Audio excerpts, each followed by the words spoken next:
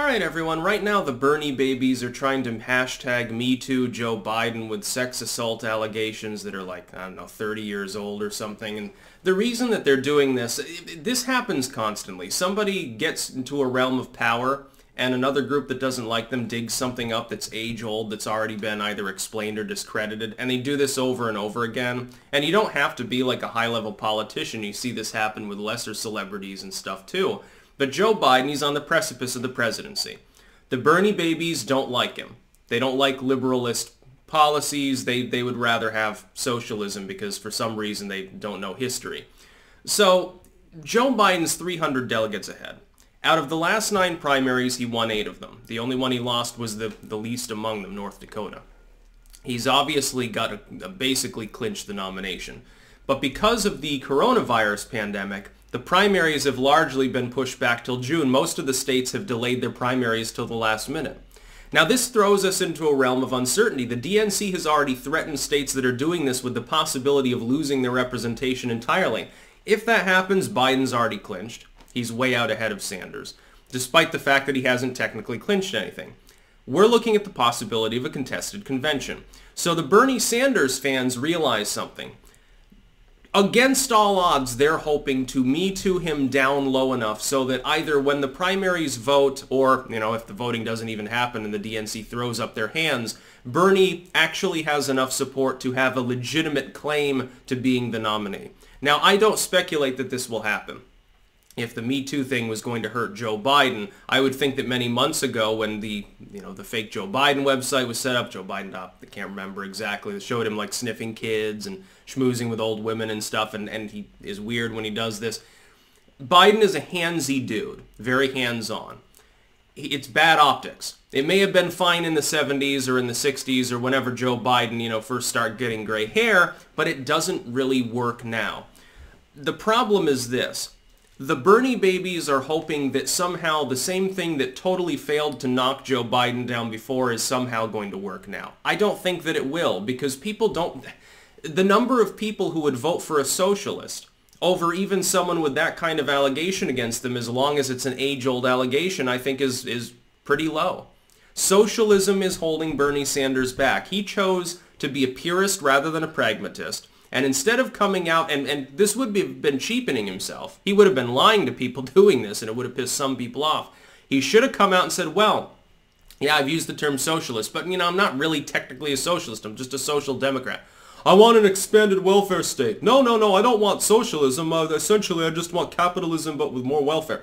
He could have done that and sold out, and he'd probably become the nominee, because Joe Biden is a dish rag.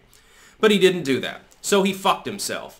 By the way, right now, the, the Democratic primaries are basically, they're almost not even occurring right now. There's no campaigning going on. Nobody can go hold rallies. Trump can't hold rallies either. What are we, by the way, as a society, what the fuck are we going to do? Suspend our election? Oh yeah, Trump, you can just be president for an extra couple of years. Fuck elections and shit like that. We'll just have a consul sort of setup. we'll, we'll name him emperor. I don't even know exactly at this point what we're going to do if things aren't locked down uh, more readily with regards to the pandemic. That being said, though, the Bernie babies, I hope that they succeed. I actually hope that the Me Too campaign against Biden kind of works and knocks him down a little bit because the better Bernie Sanders does, he won't be nominee. The better he does, though, the closer you get to the possibility of a contested convention. Biden has won. I'm not, I, there's really no possibility of anything else. In order to, to go in with more delegates than Biden, Sanders would have to win all the remaining states by something like 65%. It's not going to happen.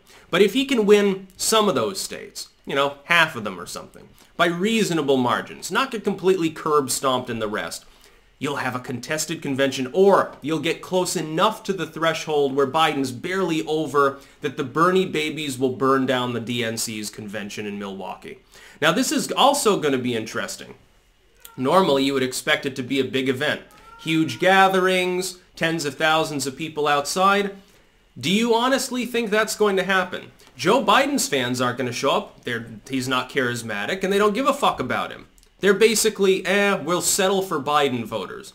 Bernie Sanders fans will show up because they tend to be disproportionately young and not really give a shit. We've seen this. Uh, and, and so they'll show up and, and the convention will basically be like, Bernie and Biden on screen probably with no audience at all other than a, a, handful of people there that'll be you know, wiping themselves with the cloths regularly, disinfectant, and then a bunch of Bernie Sanders fans rallying outside. The optics of it will be hilarious. The Milwaukee convention, assuming that the lockdown is still in effect in part or in whole, is going to be hilarious. It's going to be the craziest thing you've ever seen. it's totally topsy-turvy, illogical and, and, and insane course, I just described the two Dem uh, uh, candidates, but accidentally.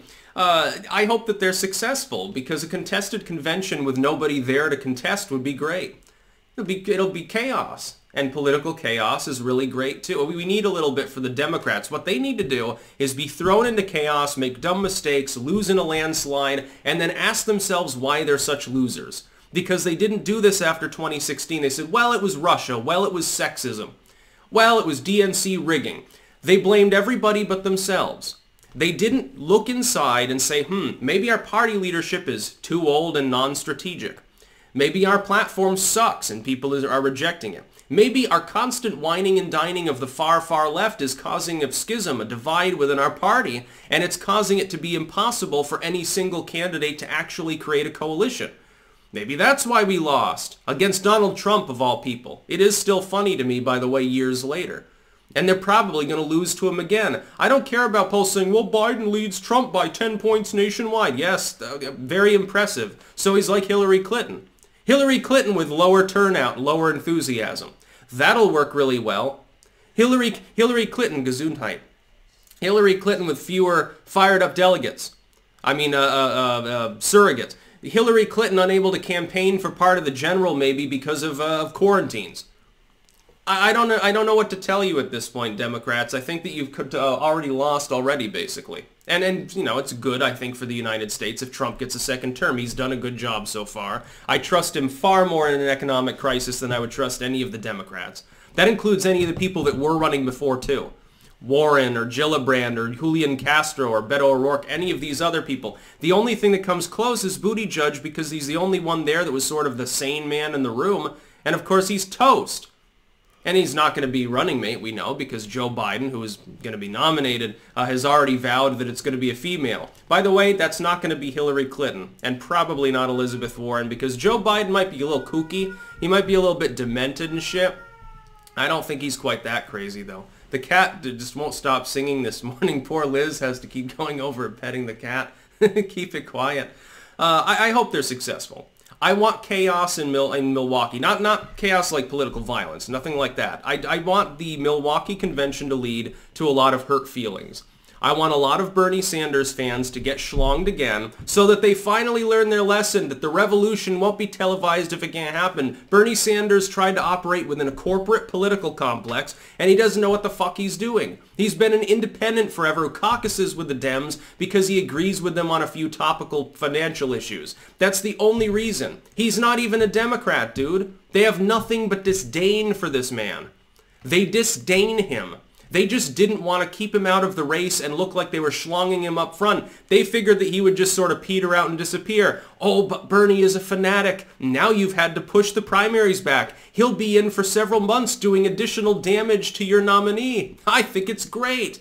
I hope that they keep me tooing Joe Biden. I hope the Bernie babies figure out, formulate a way to knock him off his pedestal. Hell, I hope Bernie Sanders becomes the front runner and still loses simply because he'd have to be front runner by a massive margin to have enough delegates going into the convention. It's not going to happen, but it will be so funny to watch them try. That's about all. Peace out.